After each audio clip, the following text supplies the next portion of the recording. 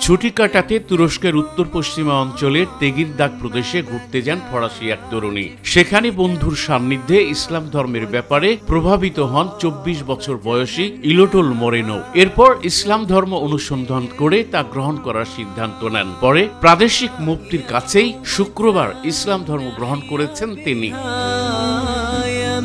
মুসলিম হওয়ার পর ধর্মান্তরের অনুষ্ঠানে ইসলামের মূলনীতি সম্পর্কে ইলোডলকে শিক্ষা দেন মুফতি ইসমাইল আইপেক এরপর মহান আল্লাহর একত্ববাদে বিশ্বাসের ঘোষণা ও নবী সাল্লাহ সাল্লামকে রাসুল হিসাবে গ্রহণ করে কালেমা শাহাদত পাঠ করেন ইলোডল। এরপর নতুন নাম রাখেন Sibel. S M Khurshed Alam, my TV, news desk.